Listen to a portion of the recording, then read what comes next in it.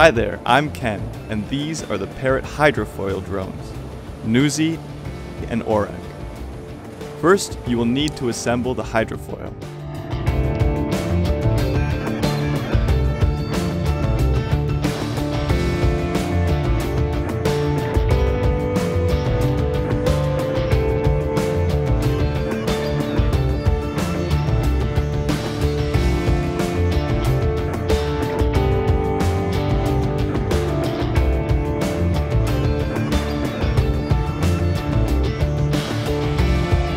Download the free app FreeFlight 3 on your smartphone or tablet.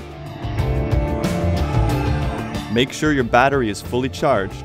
To charge the battery, use a USB cable to connect the mini drone to a power source. Then insert the battery. Before each takeoff, put your airborne drone on a flat surface. The initialization will automatically start when the airborne drone has stopped moving.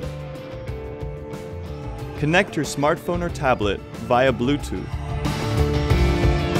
When the LEDs switch from orange to green, your airborne drone is ready to fly.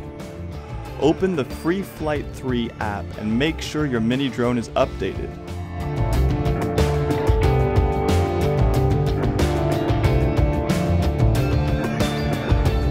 Attach the mini drone to its hydrofoil structure, like this. Select the hydrofoil mode, and now you're ready to sail.